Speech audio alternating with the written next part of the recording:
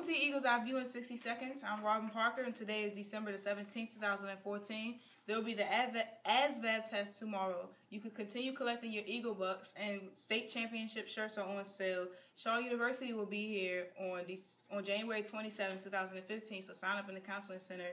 And the coat drive is also in the Counseling Center. It's five service hours for used coats and 10 hours for new coats. And if you are interested in hosting a Japanese student, See Ms. Turner for more information. Have a good day, Eagles.